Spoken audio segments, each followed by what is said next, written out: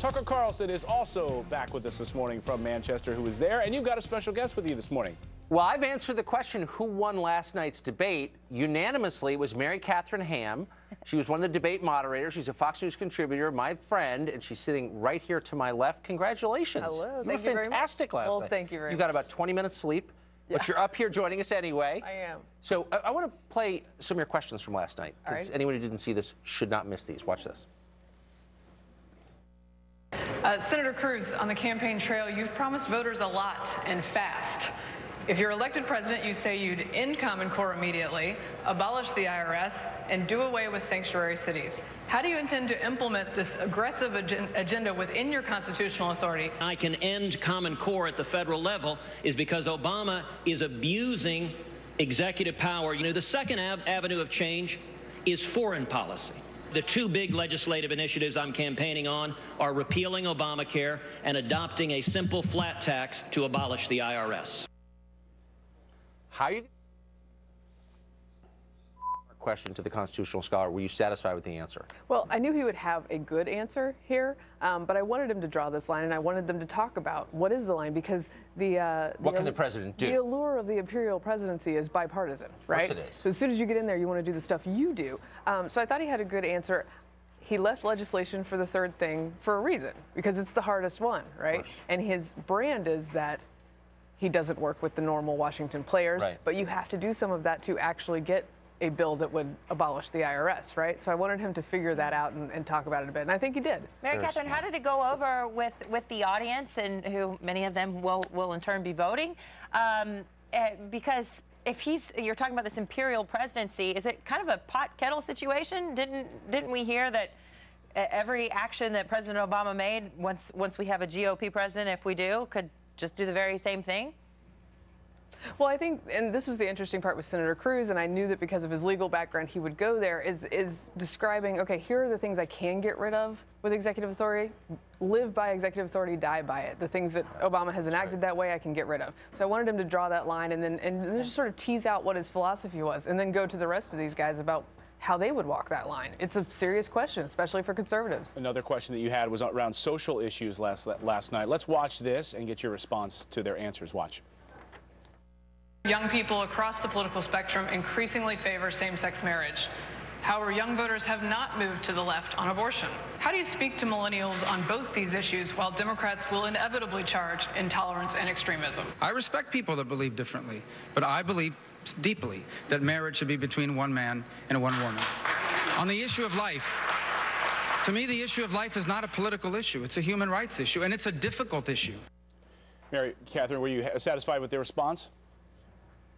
So he didn't get into the millennials specifically a bunch, but what he did do is give a sensitive answer on social issues. And, and one of the things that I really wanted to highlight here is that same sex marriage and the pro life issue are not the same. They poll differently with young people. There's ground where GO- the GOP can talk to young people on the life issue.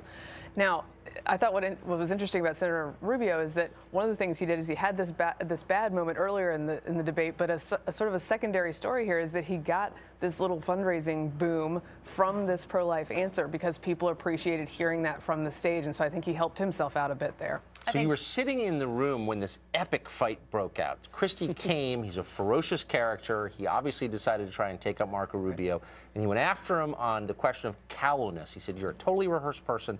Every time you get a question, you give a scripted answer." To which Rubio repeated the same line four times. Here's part of what happened.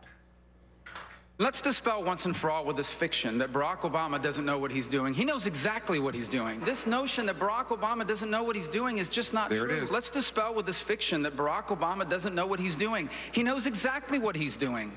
He is trying to change this country. He wants America to become more like the rest of the world. Anyone who believes that Barack Obama isn't doing what he's doing on purpose doesn't understand what we're dealing with here. So I obviously, like everyone else, watched that answer four times. I didn't really understand the point he was trying to make. Barack Obama does know what he's doing. That's better than not knowing what he's doing. What was he trying to say, do you think? And did it work? I think he had an answer. Yes. And he was going back to that well. Unfortunately, that's exactly the criticism that Christie was making. Exactly. and so it did not it did not work out well and there were other ways to get out of that situation the funny thing is i think he suffers a bit from being a, a good debater in general because Yes. the expectations are high for him and then you go there at the first segment that doesn't work for you the rest of his debate was quite good. It was? I thought uh, some good answers on ISIS and other issues that are complex, but people will remember that moment. For sure. I mean, and the press is kind of defi- I mean, that is the defining moment. Would you say? Well, I will say also it was a good night for the governors, and Christie, of course, came out there swinging. He was leaning on that podium. He's having a great time. I do think it's a little double-edged sword for him. If you're too mean, you get less out of that hit. He's tough. Yeah. He's really, really. He tough. loves it out there Yeah. too. He does love it. I wouldn't want to fight him. Along with national security, foreign policy, the economy, uh, the drug addiction problem in New Hampshire is something that voters really care about. And last night, we were, our producers were watching the Google Analytics, and when the, the candidates mentioned some personal stories, personal ties that they have to this very problem, there was a large response. Let's listen to a few of those moments. My older sister, Miriam, who was my half sister, uh, struggled her whole life with drug and alcohol addiction. I, I still remember my father and me driving up to get Miriam out of that crack house to try to convince her she needed to be a mom to, to my nephew Joey. About five, six years ago, Miriam died of an overdose. Joey walked in and found her dead. I'm pro-life. And I'm pro-life not just for the nine months in the womb. I'm pro-life for when they get out, and it's a lot more complicated. 16-year-old heroin-addicted drug girl on the floor of the county lockup. I'm pro-life for her life. The 42-year-old lawyer who's taking OxyContin and can't get out of bed and support his family. I'm pro-life for his life. Every one of those lives is an individual gift from God. Who won on this issue? Well, I think it wasn't about who won on those. Frankly, I think the GOP is not generally great at bringing in these personal stories and being vulnerable like that sometimes and connecting with people in that way. I thought Cruz's story about his sister was really great. Uh, there's stories about how it was sort of a hushed moment in the press room. Uh, Governor Christie also brought in uh, his daughters and said, when, when speaking about empowerment for women, which I thought was a nice moment. And Senator Rubio talked about his brother when speaking about the VA and all the, the mess that he has to go through, the bureaucratic mess every time he goes in to have something fixed that he had injured in the Army. So I think hitting people with those stories and saying, look, we're real people who have relatives who have actual problems and who we want to live better lives uh, is a strategy that works for candidates, and they're not great at employing it all the time. Last night was interesting. That's for sure. So Donald Trump got booed by the audience. I don't know how loud it was in the actual debate room. It sounded loud from where we were. And then he went after the audience and accused them of basically being in the, the funders of Jeb Bush and part of the problem.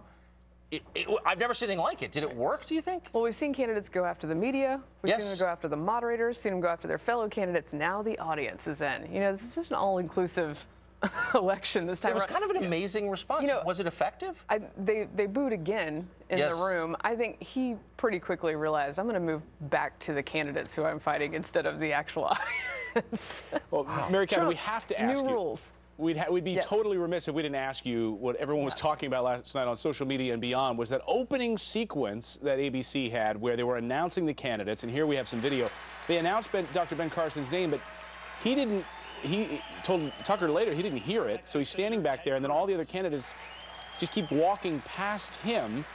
You're there as a debate moderator. What must be going through your mind? Well, first of all, this is clearly my diabolical plan to make sure that this goes as viral as possible. You can't trust new media folks like me. We will do stuff like this. No, I think it was very, very loud inside the room, and it didn't. You didn't hear that noise as much on the TV, but it was very loud in there. He did not hear his name, and then there's a there's a pileup. You know, there's a snowstorm here. It's much like a car wreck. and There was a little bit of a pileup there, and they couldn't figure out who was coming out next. But another way backstage to see them interact in this strange situation, we had the camera back there, and it was interesting. You know who was totally unbothered by this? Like completely unbothered by it? Ben Carson. Yes. Didn't bother him at all. And he made that joke when he came out about, you know, maybe you already thought I dropped out of the race, which was a perfect Carson moment. That's why people love him. He plays it off. I don't think anything Yeah, bothers. nice I get maybe when you've done brain surgery, nothing rattles you or something. That's probably it. Impressive. Mary Katharine, it's great to see you. I know you. you've had no sleep. Thanks for doing this. Thanks very much. Enjoyed Yeah, it. nice job last night. Wonderful job. Thanks, Mary Katharine.